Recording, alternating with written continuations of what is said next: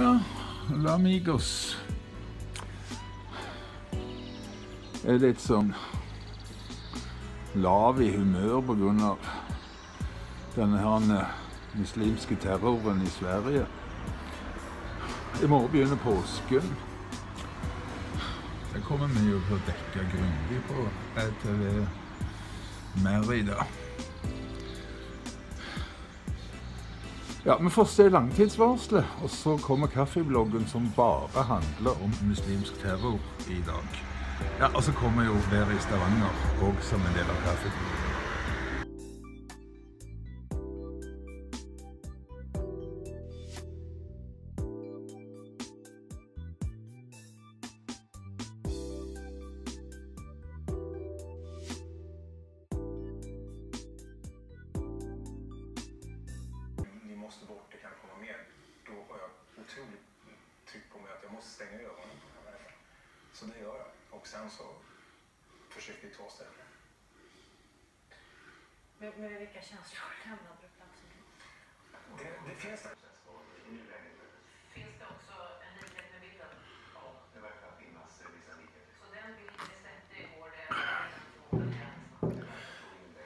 Krigen kommet til Norden.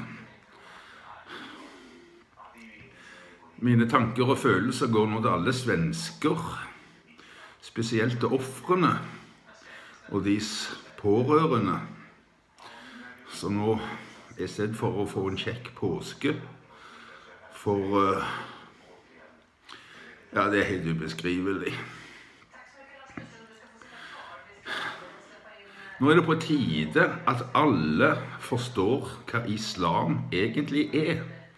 De fleste tror at det er en religion, men det er det ikke. Det er en krigserklæring. Det er en krig som har pågått i 1400 år uten stans. Den har bare ikke form som en sånn vanlig, tradisjonell krig, men den foregår på alle plattformer. Den foregår veldig mye på internett for tiden. Men han foregår òg i gatene med lastebiler og eh, I London var det en personbil, men med rett og slett uten bruk av konvensjonelle våpen. Islam er en særdeles farlig religion. I Koranen, det skal vi komme inn på litt senere, der står det direkte at meg og deg som ikke tror på islam, skal drepes. Det er liksom oppgavene til en troende muslim, det. Her skal dere få vite litt om hvorfor vi er redde.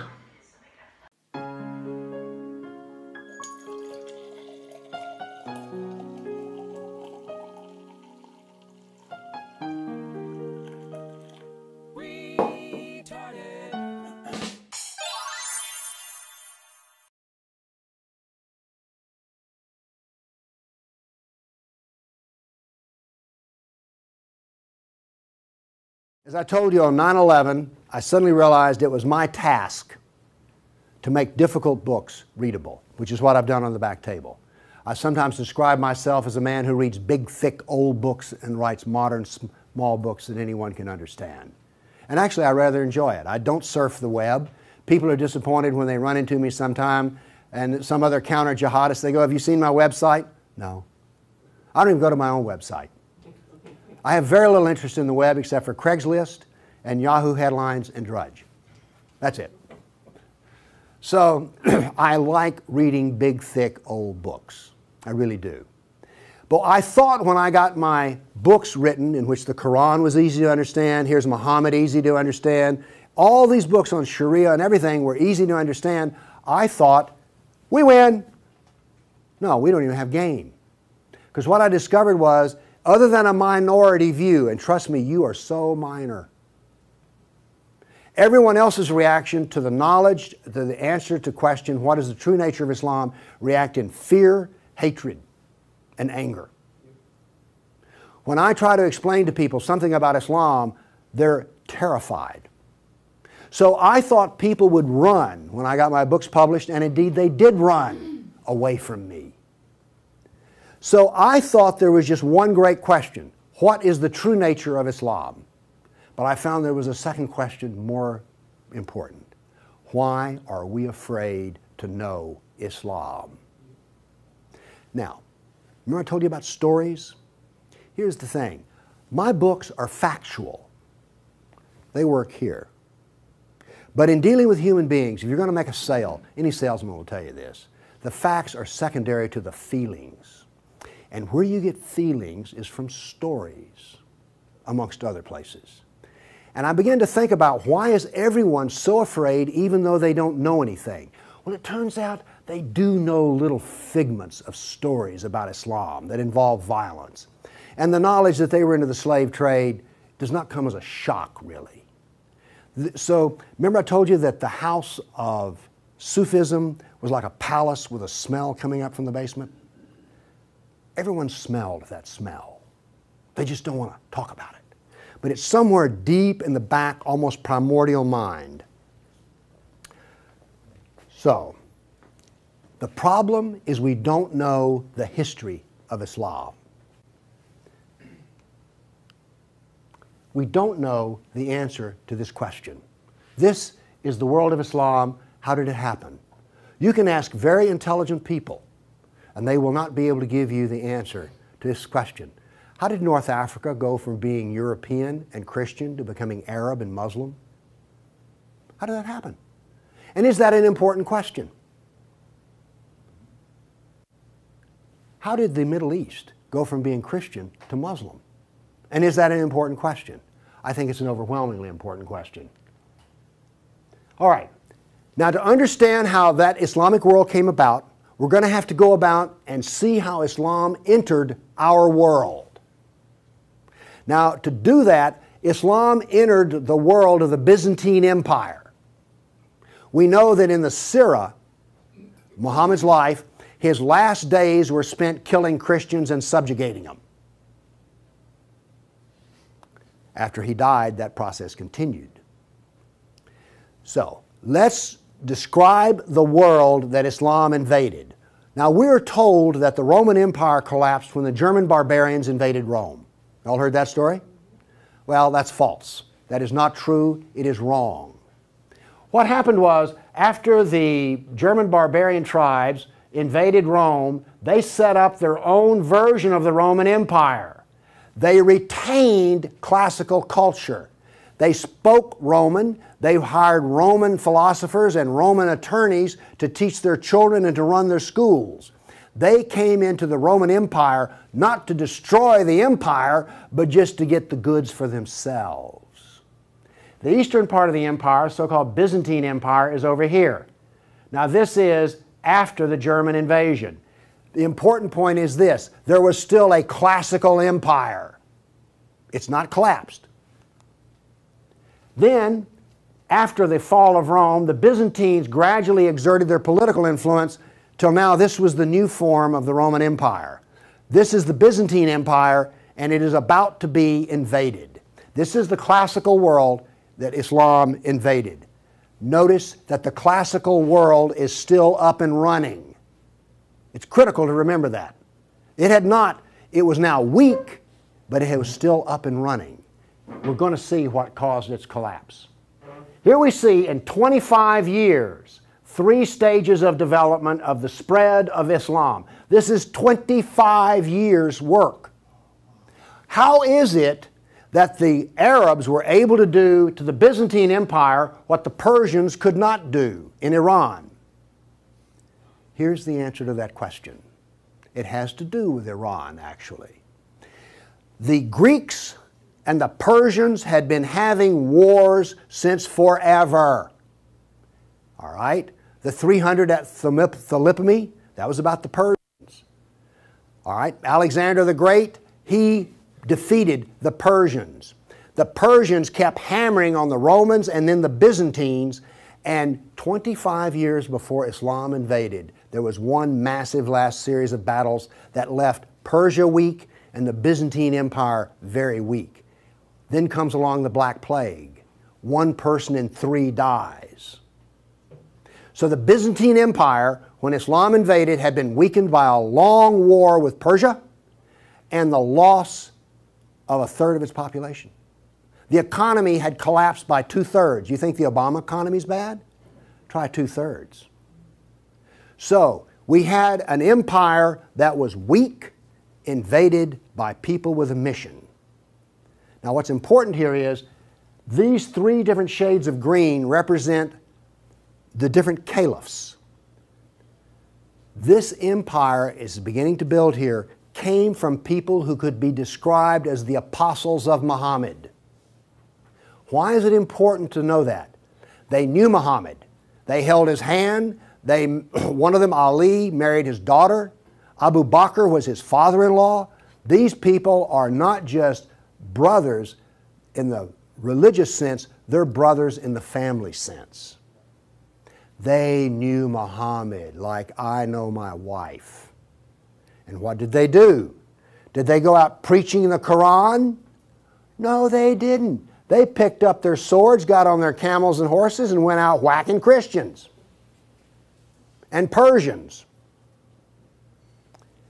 That is, this is the true nature of Islam. Here you see it. This is the fruit on the tree massive destruction. Now, notice something else that's happened here. Egypt is the breadbasket of the Mediterranean.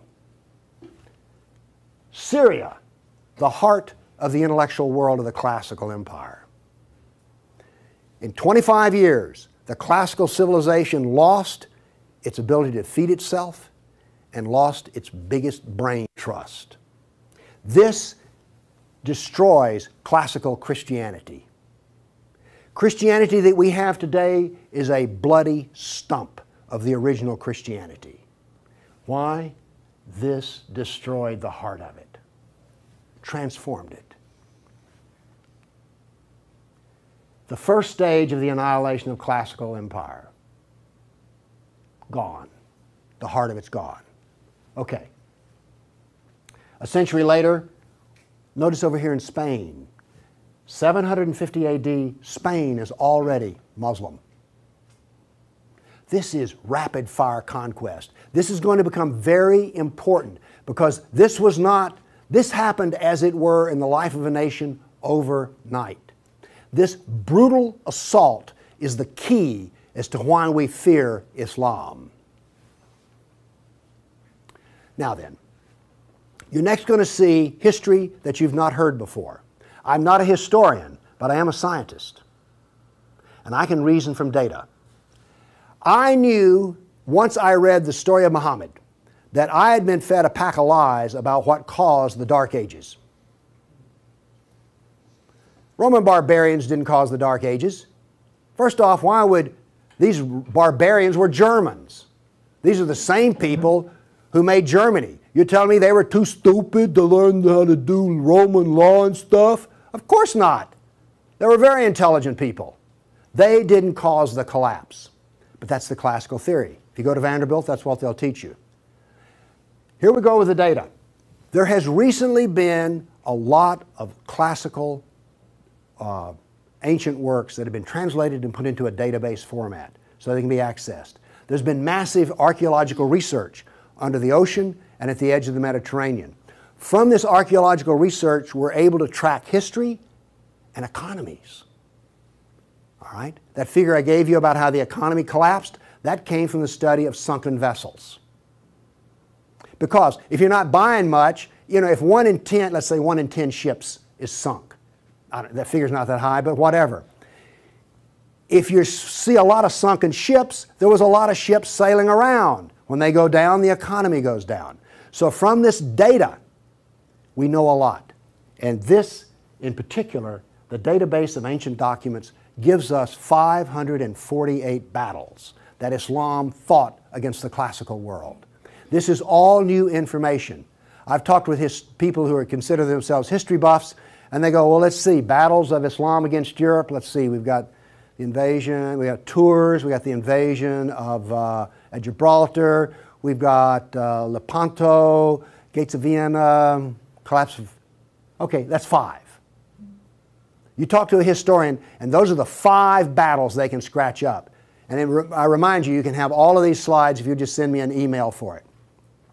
Okay, What does this new data show us? It shows us this. See the white spots? They're brand new battles. They're going to change to red. These are new. Every time, I want to show you this all over again. Every tick is 20 years. The new battles for that 20 year period come up in white, then they fade to red to show you the history. So white's what's happening right now, red has happened. Let's see how these 548 battles portray, act out over. We're going to watch in 70 seconds, we're going to watch 1,200 years of conquest. Look how fast this is happening. Bam! Here comes. You didn't know France was hammered that hard, did you? You heard of Tours. Watch what's happening in Spain and the islands. Now, many of these raids or battles, if they're at the coastline, are slave raids. The slaving that took place in here was extensive and went on and on. All of this work is also happening now, then. We're now into the golden age of Baghdad. This is the punishment that's being handed out to Christians everywhere. In Spain, after one battle, there were knights' heads were cut off and they made a pile so high that a man on horseback couldn't see over them.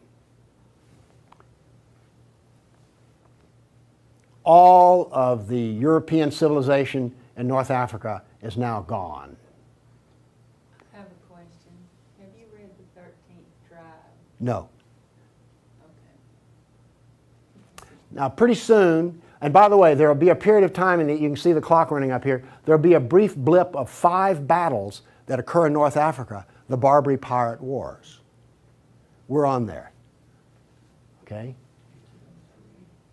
Now then, Byzantium has fallen. Now then, Eastern Europe is being hammered. Notice that it is relentless, it doesn't stop. This is the history that you're never told about. This is the history that explains how all of this came about. Now then, they're getting slower because Islam is becoming weaker.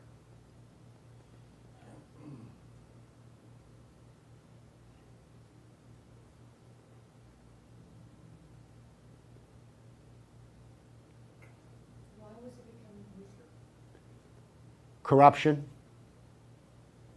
All, all, all empires collapse from the inside ultimately. Okay.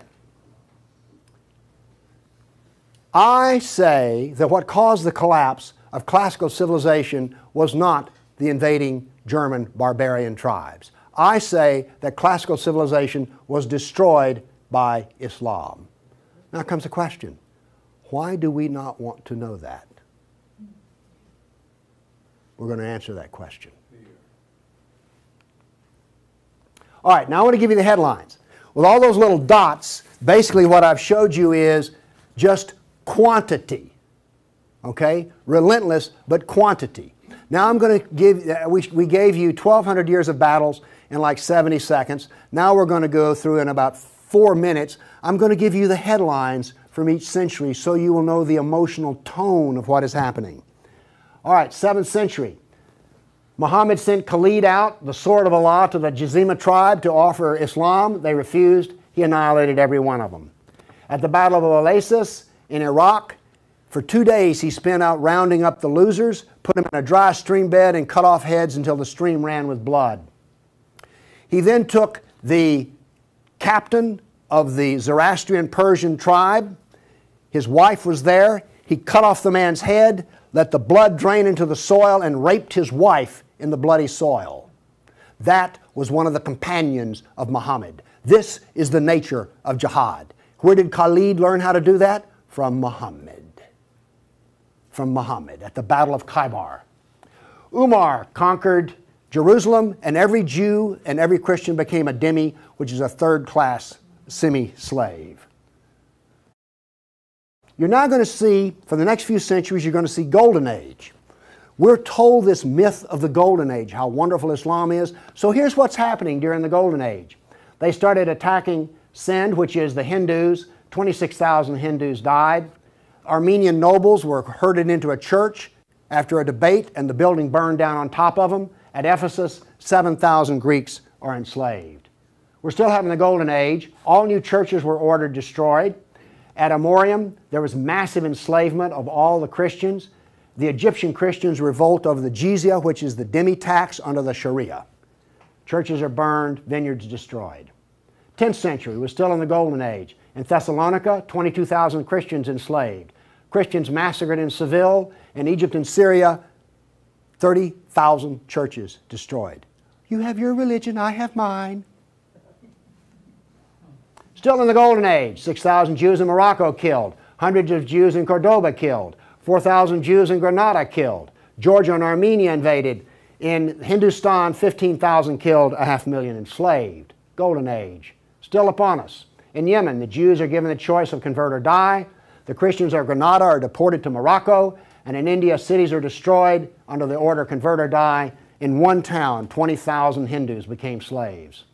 Still the Golden Age.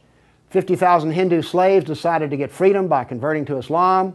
A new 20 year campaign created 400,000 new Muslims out of Hindus. Buddhist monks, Buddhist monks butchered, nuns raped.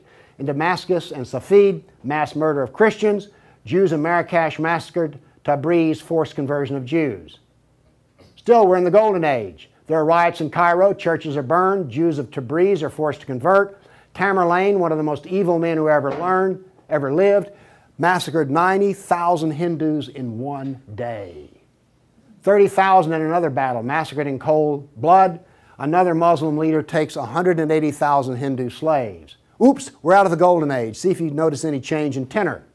Tamerlane destroys 700 villages in India. Now then comes a, a he then turned to Iraq and annihilated the Nestorian and Jacobite Christians. The Nestorian Christians, half of the Silk Route in China was Nestorian Christian. The Nestorian Christians had emissaries and uh, missionaries in the court of China. Afghanistan was partly Christian. All right? Gone. This is part of the destruction of the church that no one knows about. 700 years of attack, they finally destroy Constantinople. 16th century, uh, the son of Tamerlane destroys temples, forced conversions. Two of his generals built two towers of human heads. Once again, you couldn't see over them. And then noble women, Hindu women, started the practice of sati, which was mass suicide in order not to be sex slaves inside of the Sultan's harem. 17th century, Jews of Yemen and Persia forced to convert, forced conversions of Greeks. Zoroastrians are persecuted in, in uh, Persia, and over a half million killed Hindus. 18th century, more Zoroastrian persecution, Jews of Jeddah expelled, Jews of Morocco massacred, Hindu persecution continues. 19th century, more forced conversion of Jews, Jews of Baghdad massacred. Oops, quarter million Armenian Christians slaughtered in Turkey. Now then, in Persia, the Zoroastrians are completely annihilated. 20th century, over 1 million Armenian Christians killed. 1 million. So you now, you now not only know the number of battles, you now see the tenor of what's going on. You now know quality and quantity. Do you get the drift on how bad this was? Now then, the establishment doctrine is, is that we've already told you classical collapse had nothing to do with Islam. And indeed, Islam was a source of good because the hillbilly Europeans lost their classical learning and the shrewd, smart Arab Muslims preserved all the knowledge in the Golden Age. This is what is taught in our schools. I maintain that it was annihilated by Islam. Okay, we now need, we've been talking about land here. I now want to talk about water because classical civilization was based upon the Mediterranean Sea. Egypt was part of the Mediterranean world. It was not part of the African world, okay? Because to go from Alexandria, Egypt to Nigeria was a lifetime but you could get on a ship and be there in 10 days. Does this make sense? It was cheap transportation. You could haul a ton of grain from Egypt to Rome as much as it cost 75 miles by ox cart. This is important. I'm going to be driving back on the interstate after I finish talking here. I do not expect to be attacked or shot at on the way. I presume that the interstate is safe travel. It used to be that way under the Roman peace. That ended. The importance of naval work, as many as 500 boats could be in the harbor of Constantinople. The collapse of the freedom of sea. Let me show you something. Now, we know this from history, the data. Rome used to communicate with France by boat. After Islam, they went overland through the Alps. Why did they do that? There was no longer freedom of the sea. Here's interesting. The Black Plague was a known problem in the Mediterranean. It used to take four months to get from here to Constantinople because there was sea trade back and forth. Well, that was eliminated. So now then, when there was an outbreak of the Black, outbreak of the Black Plague, it went from harbor to harbor, harbor, all around here, and it took four years to get to here.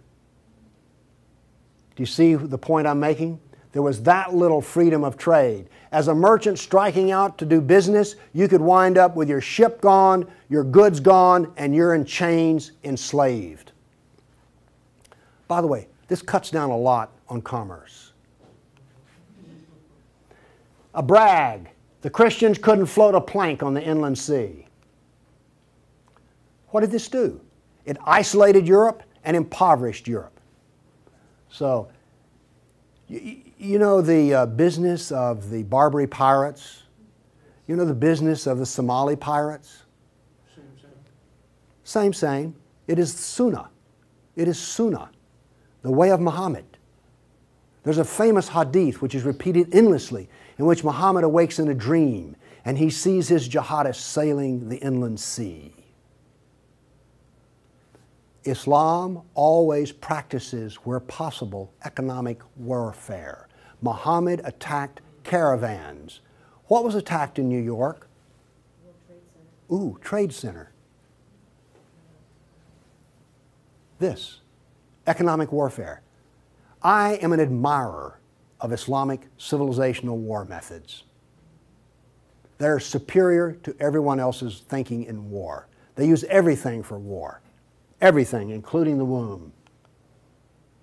This was an economic jihad. There were three, you've heard of the Dark Ages?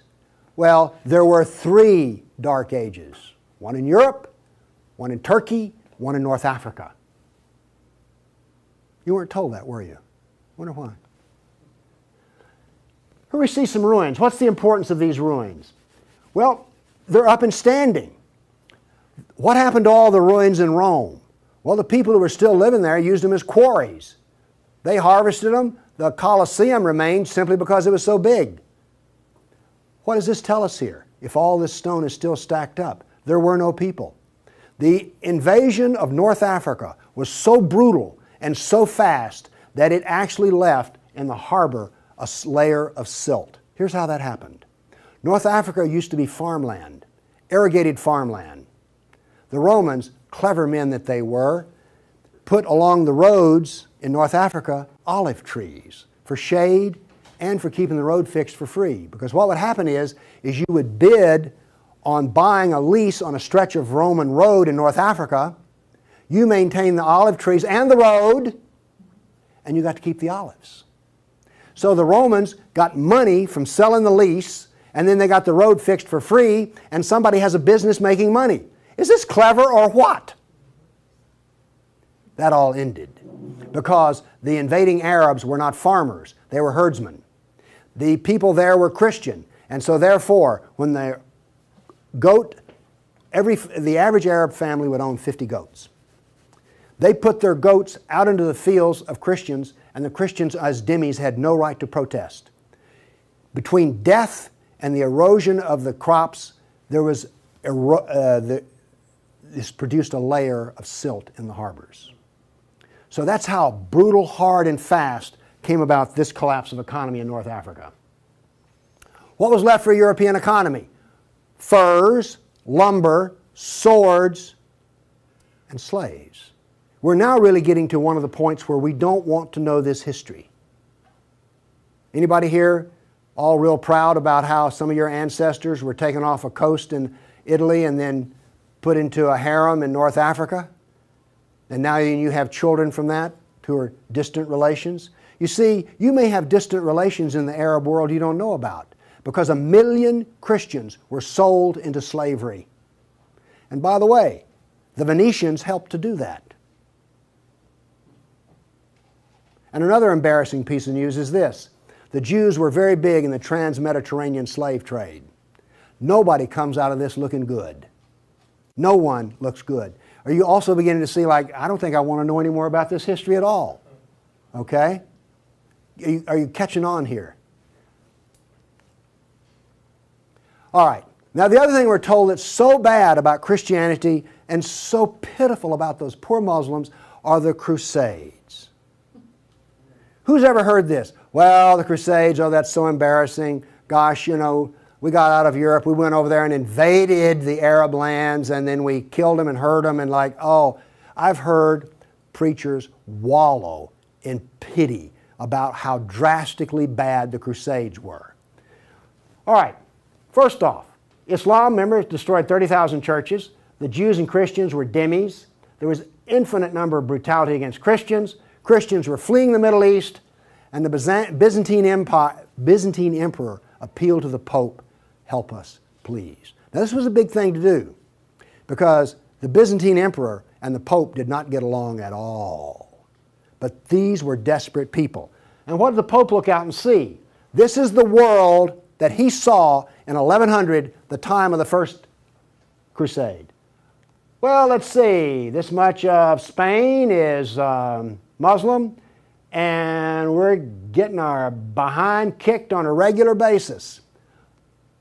Oh, well, this Christianity's gone. Oops, this Christianity's gone. And look at all the battles in the non-Christian in, the areas of, that are still Christian.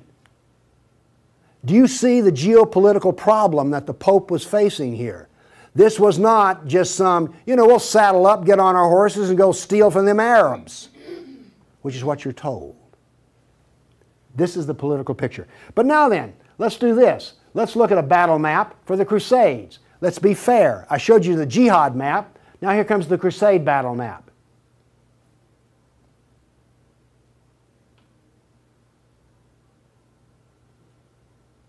We're almost done. That's it. Now we're told that the Crusades are the moral equivalent of jihad and therefore we need to be ashamed and whine and cry. All right, the Crusades were defensive, lasted 300 years, and the last one was over 800 years ago. All the jihad was offensive, lasted 1400 years, and it's happening right now. In all probability, some Christian is being slaughtered in Nigeria today. Now, is this moral equivalence?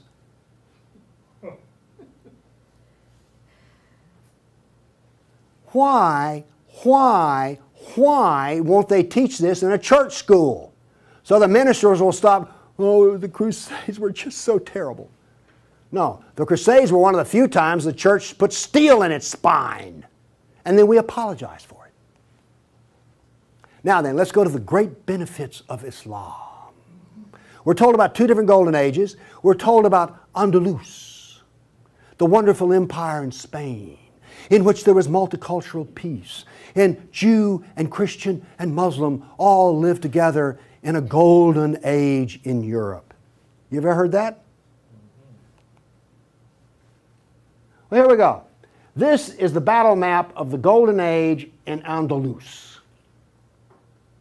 Now, while all this is going on, orders for slaves are being filled. The first slave order out of Spain was the Caliph ordered up three thousand blonde virgins. They were shipped out of Spain. Battles are going on in which Christian knights die, but notice something here. The Christians won't quit fighting. This is going to take 700 years, and there's going to be nearly 200, it's 150 battles fought. Where was this caliph uh, located? Uh, there was more than one caliph at the time. This was a caliph in North Africa. Okay. Okay. Now then, looking at this, do you understand why, when Isabel and Ferdinand were finally in full power, they told every Muslim in Spain to get out of here? They drove everyone out. Okay, my question for you is this Was Andalus a multicultural golden age or a reign of terror?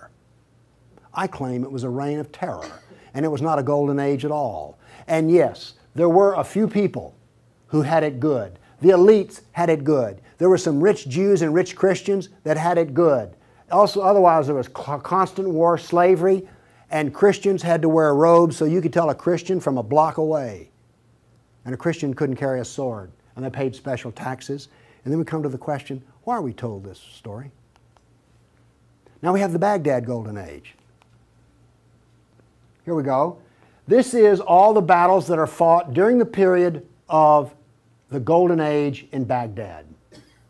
Now, not only are they as busy as they can be killing Christians, but they're also busy establishing the Sharia doctrine. They're also busy establishing the Hadith doctrine. And they're also busy in doing things like slave trading. You know, all those exotic photo pictures you've seen of the harem? They're sort of pre Playboy sexy, women, beautiful women in gauzy outfits.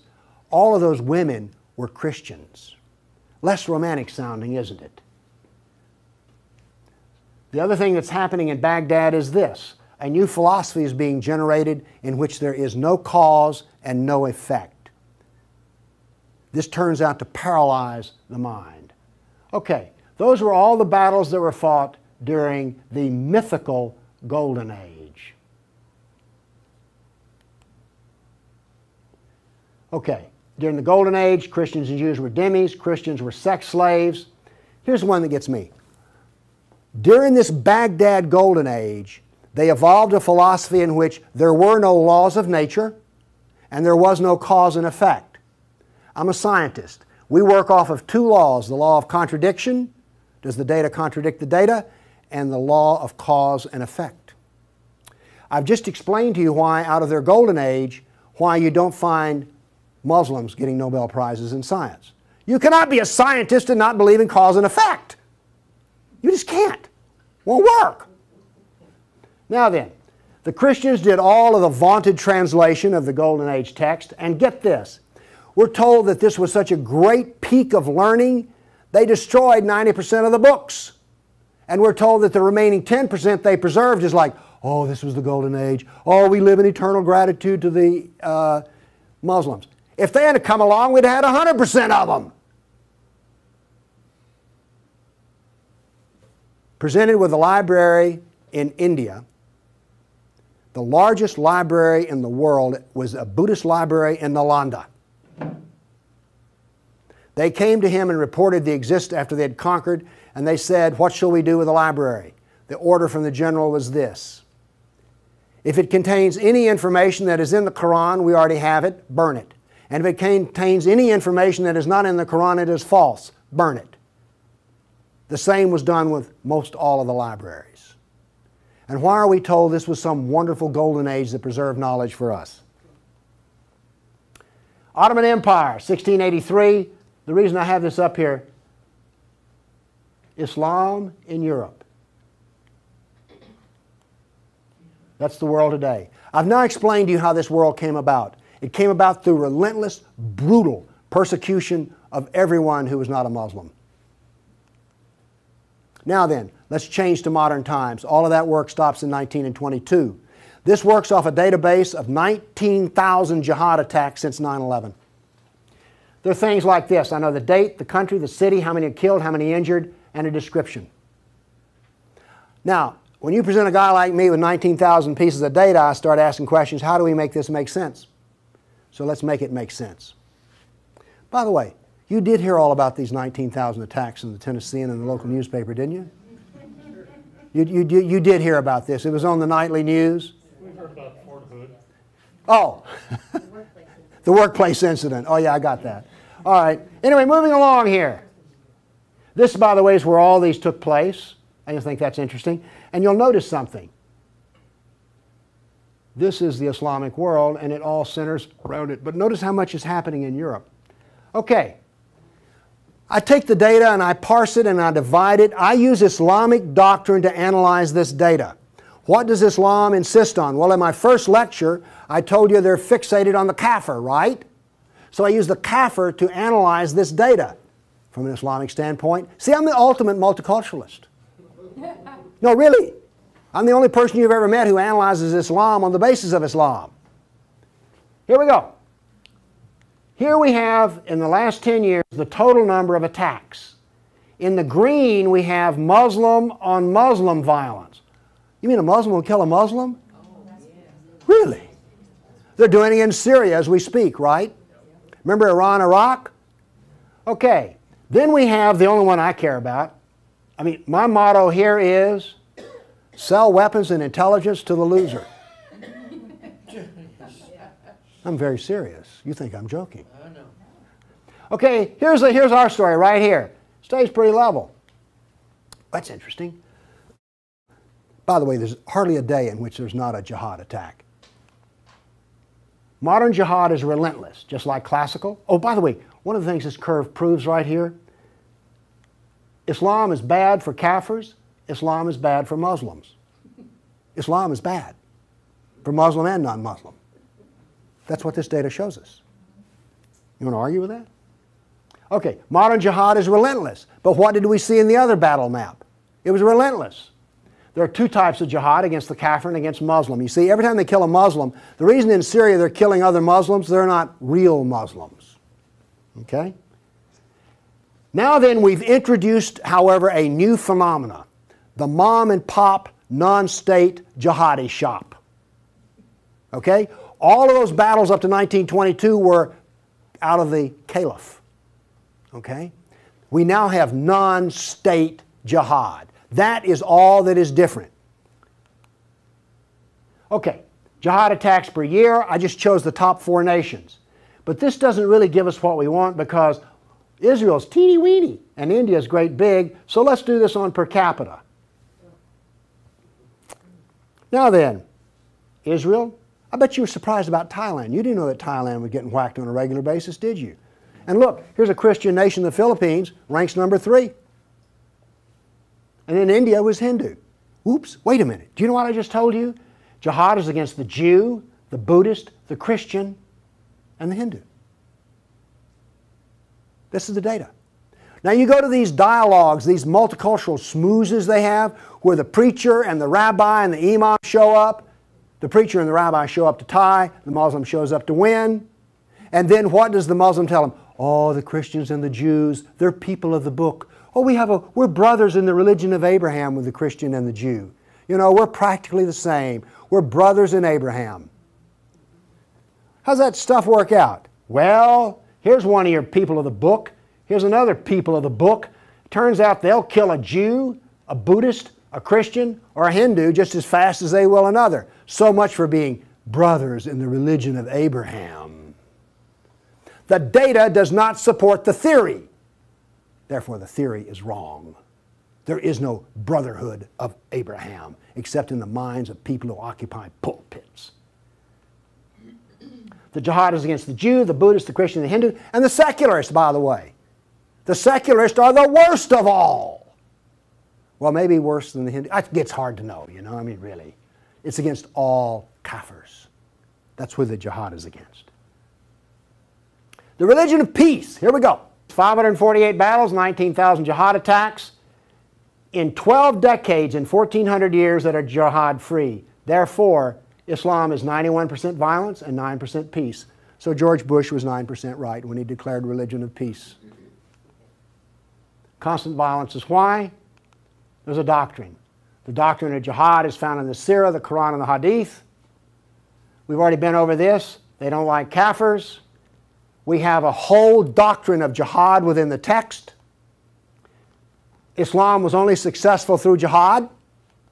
Therefore, we have a doctrine which produces jihad and it produces this effect of the collapse of civilizations. Here you go Tears of Jihad 270 million dead over 1,400 years. Read them and weep. Read them and weep. The doctrine drives history. History shows the true nature of political Islam. Political Islam is the enemy of all Kafir nations. There's an intellectual history. In 1,400 years, I've read a lot of old documents. They never talk about the Muslim. They talk about the Arab, the Turk, the Moor, Al Qaeda, Asian, and it's always been by specialists. And today, all the established uh, specialists are apologists for Islam. Why was the Quran code not cracked in recently? How come we don't teach Muhammad? And why is the Golden Age propaganda taught? Why do we remain ignorant and keep suffering? I maintain there's a reason for this. I maintain that this constant brutality over the centuries has produced in the Western mind the equivalent of the abused dog, the beaten wife, and the raped child. We do not think correctly. Everybody's seen the beaten dog that when you approach it, that is the Western mind. We deny the attacks. How much jihad is ever reported? The churches will not even admit that a Christian suffers anywhere. Fear. Muhammad used fear. Any public critic of Islam has a certain fear element there. Guilt. Oh, we haven't treated Islam right. If we treated him better, everything would be good. We don't teach the history. We humiliated. Who here is going to go home and brag about how your ancestors were slaves, how your history was annihilated, and that all we teach is the lie of the golden age?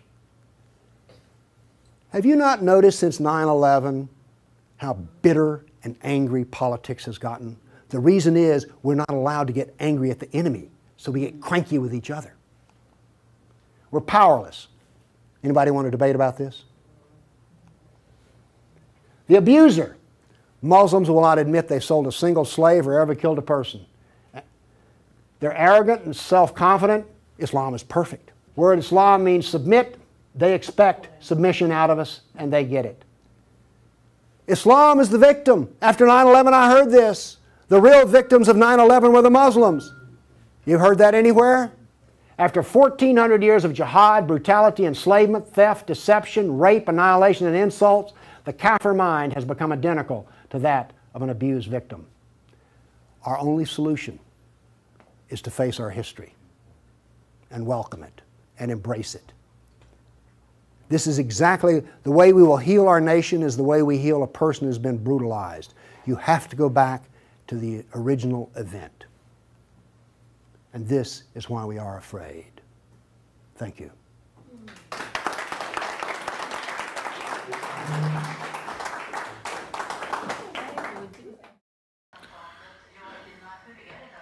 Ja, derfor er vi redde. Vi er redde fordi at uh, det finnes folk som f.eks.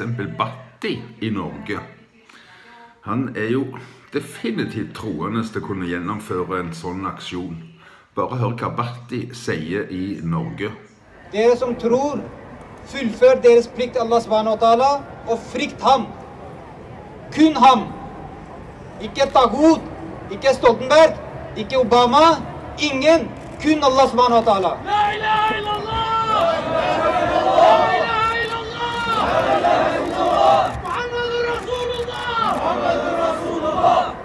Norge har deltatt i okkupasjonen av Afghanistan, aktivt vært engasjert i krigen i mer enn ti år.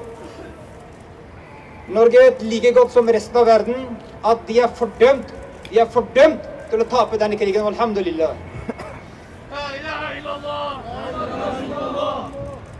Faktum er at Norge Faktum er at Norge er i krig med islam og muslimer, ikke kun Afghanistan.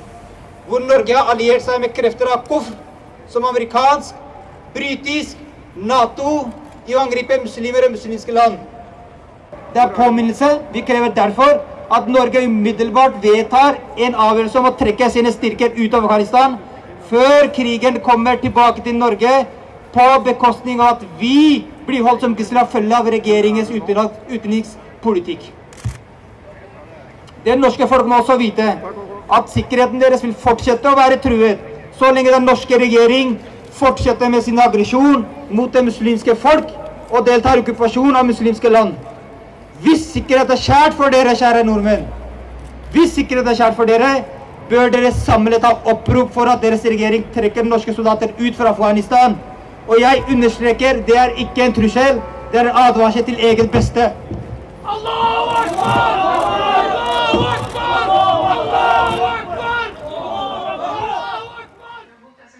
Vi er redde pga. at Bhatti er en av disse troende muslimene. Dette har han lært i moskeer i Norge eller i Sverige. This woman is on a mission. She's not a Muslim, and her Muslim dress is a disguise. Her mission is for Muslims to know what is in the Quran, because she says if more Muslims knew what was in the Quran, more would leave Islam. Mona Walter came to Sweden from Somalia as a war refugee when she was 19. She says she was excited about joining a modern European nation with equal rights for women. But as a young Muslim woman, that was not the Sweden she encountered. In fact, she says it was in Sweden where she first experienced radical Islam on a daily basis. I discovered Islam here in Sweden. In Somalia, you're not, you're just a Muslim. You're just born into Muslim country without knowing the Quran. But when you come to Sweden, then you go to mosque.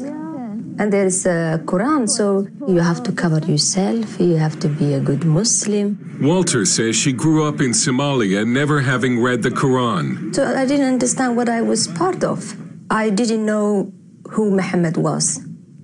I didn't know who Allah was. So when I found out, I was I was upset. I was sad and I was disappointed.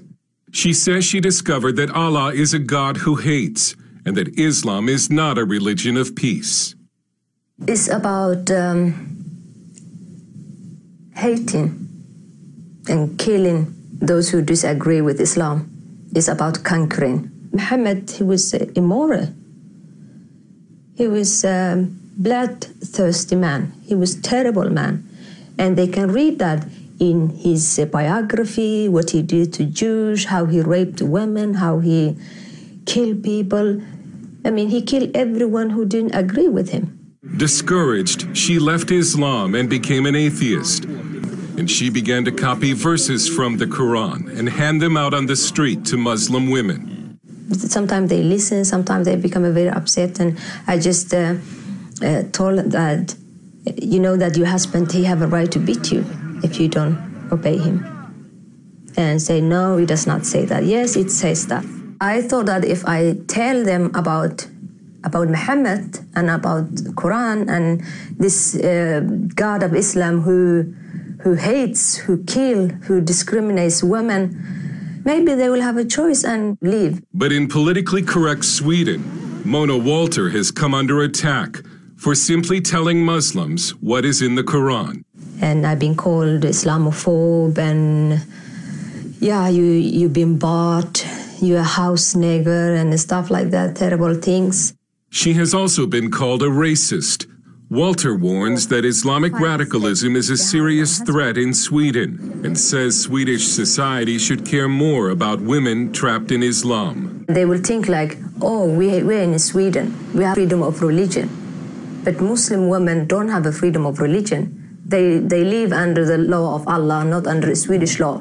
So they will suppose everyone have a freedom of religion. We don't have. We don't have freedom of religion. It's not for Muslim women. It's for, for everyone else. She lives under death threats and sometimes travels with police protection. She wanted to show us Muslim areas around Gothenburg, but had to first dress as a Muslim. She believes if she were to show her face, she would be attacked. I never go to those area just to be in me, just to be in flesh and um, blood, Mona. I never get out of there alive. I mean, Muslim are normally good people, like like everyone else. But when they when they read Quran, then they become a killing machine. This so-called ISIS or Al Shabaab or Boko Haram, they're not like they're not extremists. They're not uh, fanatical or they're just a good Muslim, good Muslim who follow uh, the teachings of Islam. The Prophet Muhammad, he did that. He, they doing just what he did. Walter now uses videos and speaking appearances to spread her message. and she says she won't stop, even though her life is in danger. Dale Hurd, CBN News in Gothenburg, Sweden. En uh, ikke-ekstrem muslim må jo da være en som aldri har lest Koranen.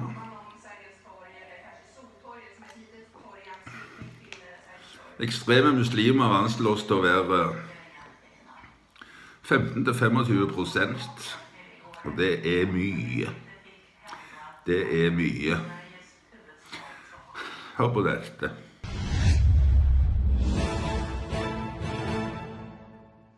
Assalamu alaikum. Peace to you all. My name is Saba Ahmed. I'm a law student at American University. I am here to ask you a simple question. I know that we portray Islam and all Muslims as bad, but there's 1.8 billion Muslim followers of Islam. We have 8 million plus Muslim Americans in this country, and I don't see them represented here. But my question is, how can we fight an ideological war with weapons? How can we ever end this war? The jihadist ideology that you talk about, it's an ideology. How can you ever win this thing if you don't address it ideologically? I am so glad you're here, and I am so glad you brought that up because, us, because it gives us an opportunity to answer. What I find so amazing is since the beginning of this panel, which we are here about Benghazi attack against our people, not one person mentioned Muslims. We are here against Islam or we're launching war against Muslims. We are here to discuss how four Americans died and what our government is doing. We were not here to bash Muslims. You were the one who brought up the issue about most Muslims, not us. And since you brought it up, allow me to elaborate with my answer. There are 1.2 billion Muslims in the world today. Of course, not all of them are radicals. The majority of them are peaceful people. The radicals are estimated to be between 15 to 25 percent according to all intelligence services around the world. That leaves 75% of them peaceful people. But when you look at 15 to 25% of the world Muslim population, you're looking at 180 million to 300 million people dedicated to the destruction of Western civilization. That is as big of the United States. So why should we worry about the radicals 15 to 25 percent? Because it is the radicals that kill. Because it is the radicals that behead and massacre. When you look throughout history, when you look at all the lessons of history, most Germans were peaceful. Yet the Nazis drove the agenda. And as a result, 60 million people died. Almost uh, 14 million in concentration camps. 6 million were Jews. The peaceful majority were irrelevant.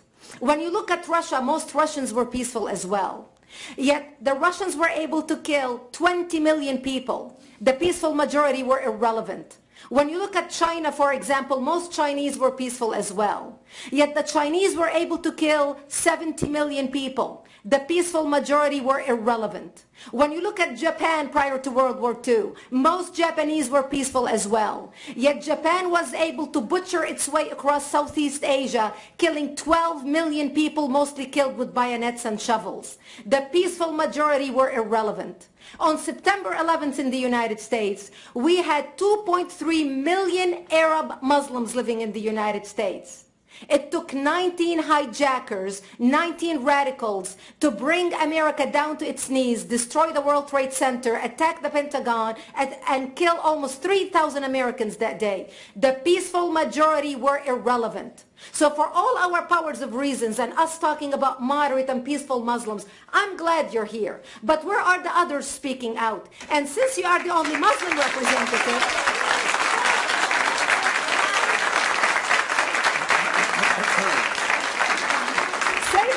till the end.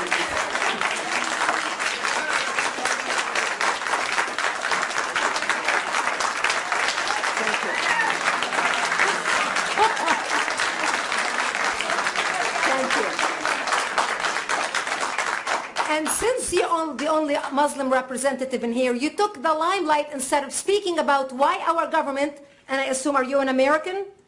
You're an American citizen. So as an American citizen, you sat in this room and instead of standing up and saying a question or asking something about our four Americans that died and what our government is doing to correct the problem, you stood there to make a point about peaceful, moderate Muslims. I wish you brought 10 with you to question about what, how we can hold our government responsible. It is time we take political correctness and throw it in the garbage where it belongs and stop calling it Jeg hadde håpet at jeg aldri mer skulle være nødt for å snakke om muslimer i kaffebloggen. Jeg ville heller snakke om været, om radio- og TV-historie. I morgen så skal vi snakke bitte litt om Frihetskanalen, som jeg har fått informasjon om. Om en monopolbedrift som heter Riks-TV som eh, må bekjempes. Og eh, kanskje til og med litt om medisinsk cannabis. Det er jo veldig innenfor tiden på P2. I går og i forgårs så hadde de et veldig bra innslag om det. Hvis dere ikke har fått det med dere, så ligger det her i kaffebloggen som to løse filer uten at jeg kommenterer de. Jeg fikk jo rett og slett ikke tid til å bruke de nå, så for å gjøre de tilgjengelige, så bare gjorde jeg det i stedet for. Men de kommer til å bli brukt i kaffebloggen òg. Ja, vi får vel avslutte med været i Stavanger. Og eh, ja, jeg får prøve å ønske dere en god helg. Det Vi hadde planlagt i går å gå på karaoke. Vi ble bare sittende helt paralysert av å se på at nå har krigen kommet til Skandinavia. Sånn galskap som det der er. Hvis du ser sånn galskap som det Altså, jeg blir redd. Jeg blir redd av sånt. At det går an å ha så lite hjerneaktivitet at du tror på en sånn destruktive Gud som denne her Allah og profeten de ser. At noen kan være så hjernedøde. Ja, kom, her er været i Stavanger, så får vi snakkes i morgen. Stavanger, the most beautiful city.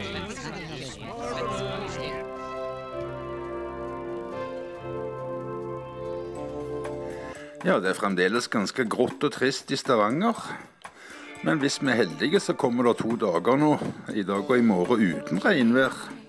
I hvert fall uten altfor mye regnvær. Men på mandag da kommer regnet tilbake, så det blir jo bare eventuelt to dager med grått oppholdsvær. Stavanger fortjener noe mye, mye bedre enn det. Ha en riktig god lørdag.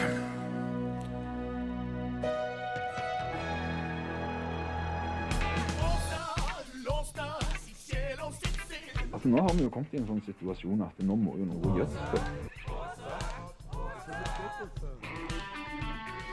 Det som jo skjedde, var at eh, Åse Kleveland fikk en sånn fiks idé.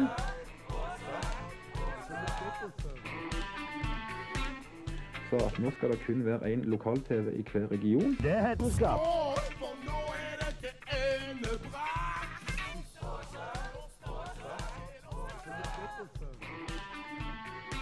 Og det er hedenskap. Hedenskap holdt ut.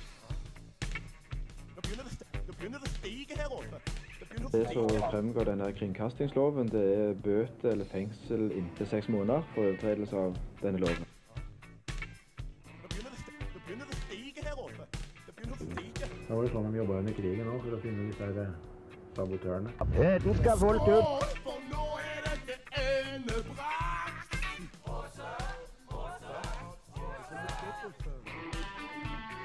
you don't have any art, you're pretty much lost.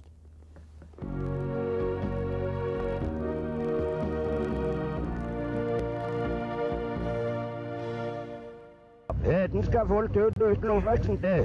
Och ser precis då när jag tittar ner så ser jag en huva ryka och jag hör en dov smäll. Och förstår då att den här lastbilen har kört in i Åhléns. Jag vet inte exakt vad Men förstår du, förstod det? Nej, jag reflekterar rätt snabbt att det här är ju inte någon, det här är ingen kroppsdelar Jag ser kroppsdelar. och sen ser du, sen, sen dör en människa.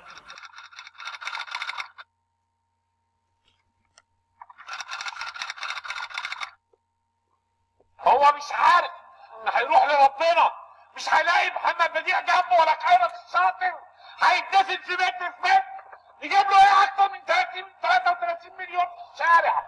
ما بيشوفوش. ما بيشوفوش. امي مش عارفين اللي حصل في البلد.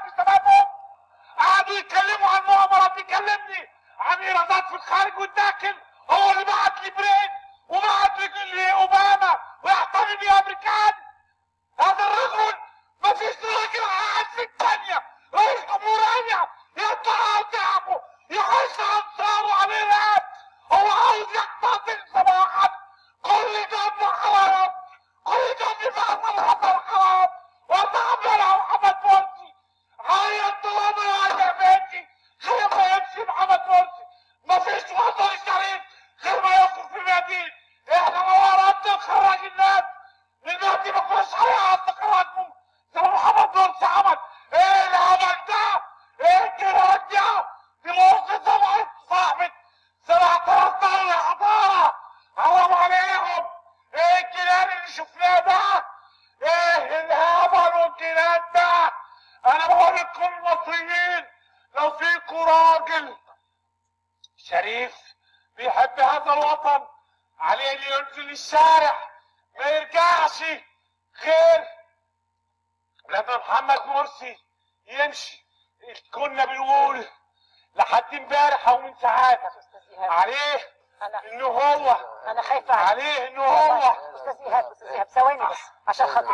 آقا یاد آقا چه خبر